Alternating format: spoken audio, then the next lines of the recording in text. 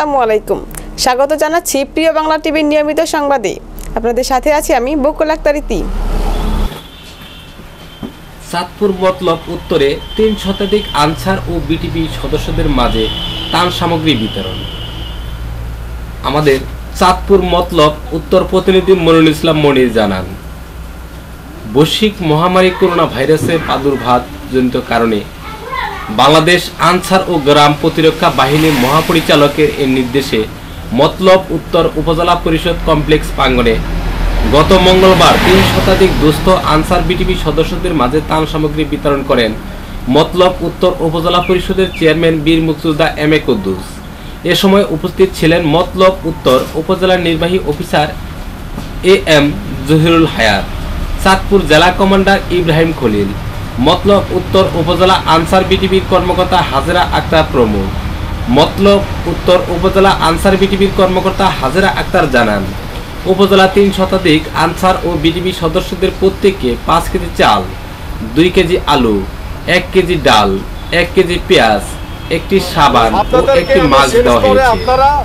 এবং এই দেশে সর্বপ্রথম সর্ববৃহৎ অগ্রণী ভূমিকা পালন করে থাকেন আপনারা আনসার বিটিপি ভাইয়েরা। আমি বলতে চাই, আজকে একটি সুন্দর পাঠিয়েছেন। যন্ত্রী শেখ হাসিনা, জাতির পিতার কন্যা যন্ত্রী শেখ হাসিনা, সারা দেশে এই পর্যন্ত পাঁচ কোটি জনতার জন্য, জনগণের জন্য খাদ্য সহায়তা দিয়েছেন। আরও খাদ্য সহায়তা দিচ্ছেন, অব্যাহত রয়েছে। আমরা এই মতলববাসী, আজকে একটু আগে একটি শুভ কাজ করলাম। মৌসুমে যাতে আমাদের শ্রমিকের সমস্যা না সেই জন্য একটি কম্বাইন্ড হারভেস্টার মেশিন যেটির দাম তিরিশ জাতিকে রক্ষা করবে, বিশ্বকে রক্ষা করবে, আপনিও আমাকে সবাইকে রক্ষা করবে। এখানে আমাদের সাংবাদিক বন্ধুরা আছেন, যারা ওনারা নির্লসভাবে জনগণের সেবা করে যাচ্ছে।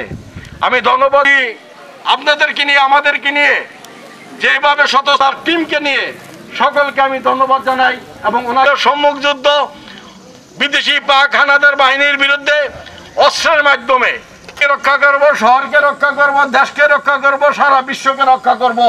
এই হোক আমাদের অঙ্গীকার। চলে যাবা।